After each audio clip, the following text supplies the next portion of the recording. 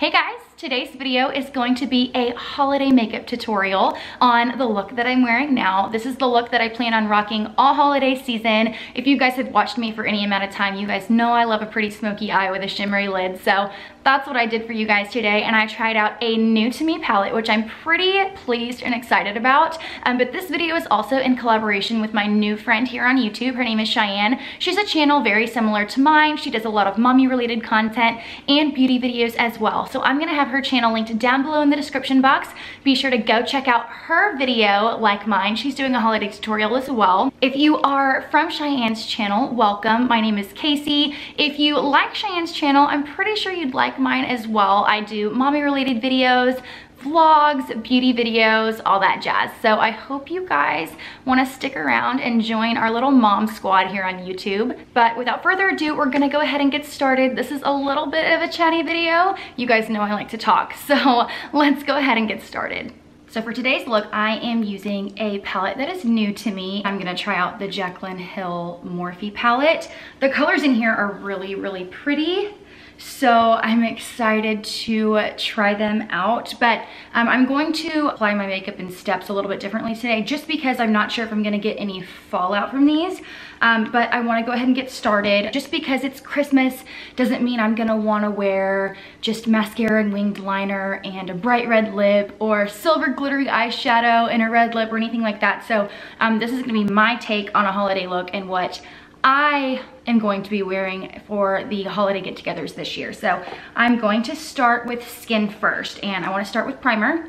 I'm using the Too Faced Primed and Poreless. Too Faced makes my favorite primers. I use this one and the Hangover RX. And then for foundation, I'm gonna use my Dior Forever Skin Foundation. Mine's in the shade 20. This is my favorite long wearing foundation. It feels so lightweight on the skin.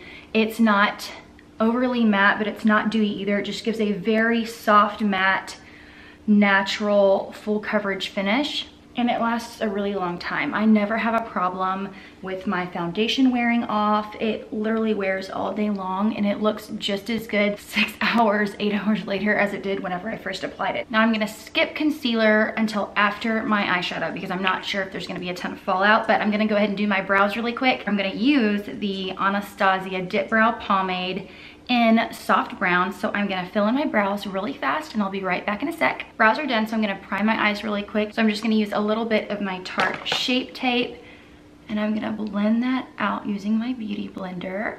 And then I'm gonna set my lids using the Too Faced, uh, what is this? The Peach Perfect Powder. Set that really quickly. So I'm gonna first start out with this shade here as my transition shade. I'm gonna put that all in the crease and on my lid. The shadows are just a little bit powdery whenever you put your brush in them, but it's not too bad. This is a really great transition color though. And it goes on really nice. Using that same brush, I am going to deepen it up just a tad with the color right underneath it. Just focusing a little bit lower. So far so good. I wanna try a shimmer shade on my lid, but I'm having a really tough time trying to decide which one I want to use because they're all so, so pretty. But knowing me and what I like, I think I want to go in with this shade here. It's a really pretty sort of like rose gold shimmer bronze color. So um, I'm going to throw on some Fix Plus on my brush. So I'm just going to spray a little bit so that it goes on nice and metallic. Oh yeah. Oh my gosh, that is beautiful. So I guess during this tutorial, I will go ahead and share with you our Christmas traditions and what we like to do on Christmas Eve and Christmas Day. So we stay fairly busy on Christmas. We go to both my in-laws house and my parents' house on both Christmas Eve and Christmas Day. One of my favorite things about our Christmas is that both sides of the family makes it a huge deal and the kids just get totally spoiled. But typically what we do on Christmas Eve is we will go to my in-laws house for, um, not really for lunch, more like appetizers and snacks and the kids usually get to open up their presents over there. And then that evening we go to my mom's house and we have Christmas with my grandparents. So my grandparents on my mom's side and my grandparents on my dad's side. And we've done that since I was a little kid. I want to deepen up the crease, so I am going to take this color right here. It's it's a brown, but it's definitely got a hint of berry to it. I don't want my eye to be too berry, but I want to check out this color because it looks really pretty. So yeah, we um, have a big Christmas Eve at my mom's house, Christmas Eve night, and the kids get to open up presents from both my nanny, which is my mom's mom, and my grandma, which is my dad's mom. So um, it's nice that we still have been able to carry on that tradition even as me and my sister have gotten older and had our kids now. We try to be home by like seven o'clock, eight o'clock that night, just so the kids can get ready for Santa to come and all that jazz. So when we get home on Christmas Eve night, we always let the kids open at least one present. And one present that I always buy them on Christmas Eve is a new pair of PJs so that they wake up with a fresh new pair of Christmas PJs every Christmas morning to open Santa presents. And last year was our first Christmas with all three of us and um, I didn't realize how important those Christmas PJs were to Lexi and I just totally spaced and did not buy new PJs last year and she was really upset. So I made sure to buy them this year and to continue on with that tradition because she said that's one of her favorites. So I got to continue on with that. Um, okay, so that is looking really pretty, but I want to add one more color. So I think I'm going to add right here in the corner, which is more of a chocolate brown, like a warm chocolate brown, just to add a little bit more depth to the eye. And then we go to bed and Santa comes. We wake up on Christmas morning and all the kids gather around and they open up Santa presents. We check to see if he ate all of his milk and cookies. They get to opening, they open up Santa presents first and then they open up the rest of the gifts from me and Kevin and me and Kevin open up presents. So that's usually how our Christmas morning goes. And then um, we really don't have a lot of time to hang around um, and let the kids play, which kind of stinks because we have to be at my mom's house around 11 or 12 for Christmas lunch. And while we're over there, that's when the kids open up um, presents from my parents and we exchange gifts with my sister and her family. We stay over there for a couple of hours and then we have to go to Kevin's parents' house for Christmas dinner where they open up presents with Kevin's sister and her husband. So um, we are really busy bees over Christmas, but um, I'd love to know what you guys' Christmas holidays are, what you guys do on Christmas. Um, I'm just taking my the brush that I use my transition shade with. No extra product, I'm just going over the shadows in my crease just to make sure everything's all blended. Okay, I need to add a brow bone highlight. And these are the two highlight shades in the palette. I don't know which one I like best. Let me see. I am gonna go with the second shade, which is the more warm of the two. And I am going to pop that. Oh my gosh, that is intense. Oh my goodness. That was a lot uh, brighter than I thought it would.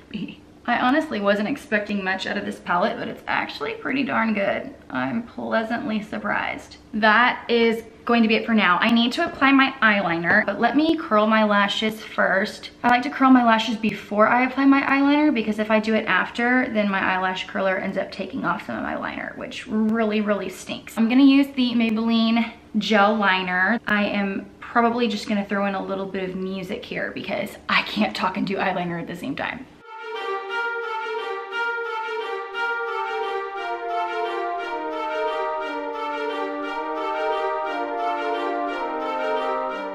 Okay, eyeliner is done. So we're gonna go ahead and add mascara next. And as always, I'm using my L'Oreal Voluminous Lash Primer. Huge fan of this stuff. I know some of you have said that this doesn't work for you and that really stinks.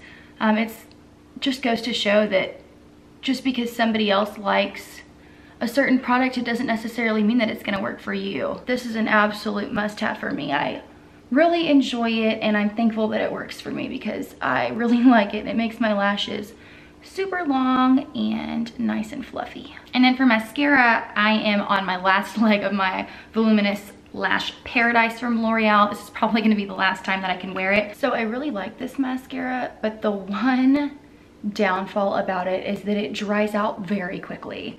Um, I haven't had this for very long at all and it started to dry out a couple of weeks ago, but I've just been trying to get as much out of it as possible. Thankfully, it's just a drugstore mascara, so it's not like I paid a lot of money for it. It is really good. It makes my lashes really long and really nice and thick, so I can't really complain too much. So I want to go ahead and move on to concealer, and of course, I'm using the Tarte Shape Tape. Mine is in the shade Light, and I'm gonna put a little bit under my eyes. I'm pleasantly surprised. I really didn't get a lot of fallout from the Morphe palette. I thought maybe I would, but I think it's because I sprayed Fix Plus on the shimmer shades, so that really did help. I'm not used to putting my concealer on after my eyeshadow.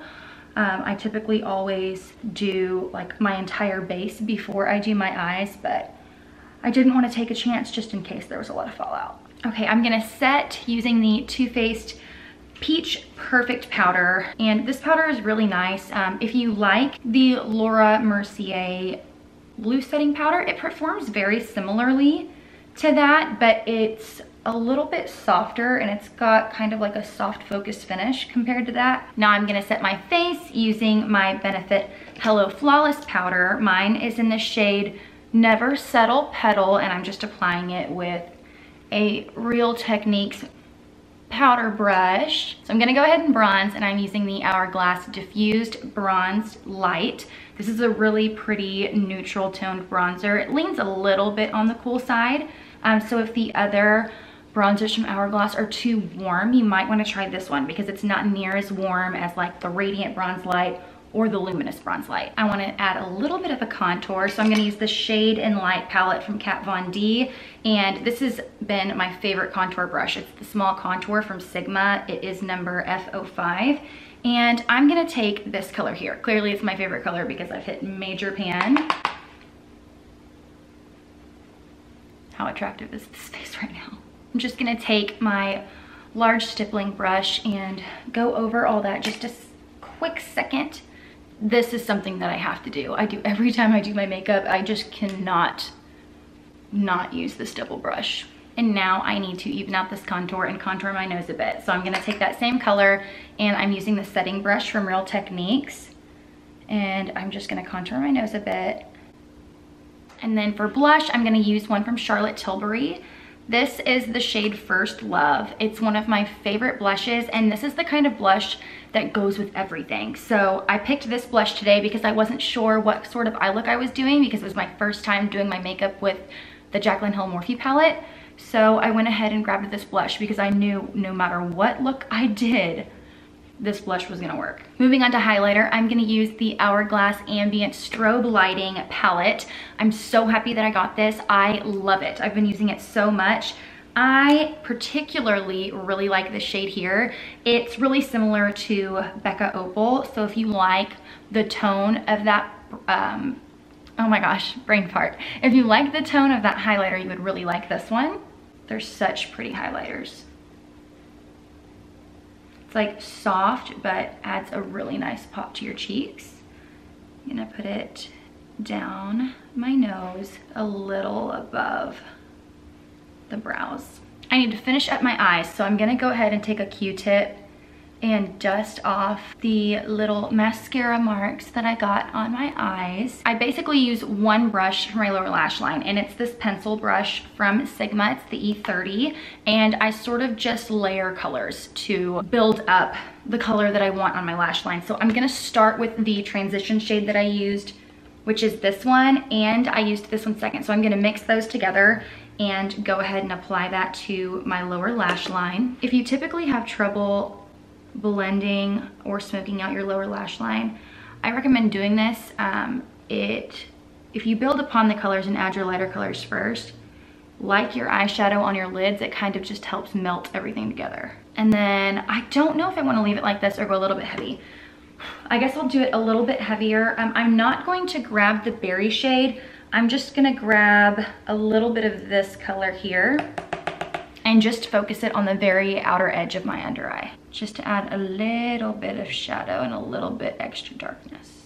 I don't like my lower lash line to be super dark though because I feel like it closes off my eyes too much. And I still, even if I'm wearing a smoky eye, I still like my eyes to look more open and awake. Eyes are complete. I just need to add some brow gel. I'm using the Anastasia Brow Gel in Brunette I'm gonna just put a little bit in my brows just to hold them in place. I'm gonna set everything with the MAC Fix Plus.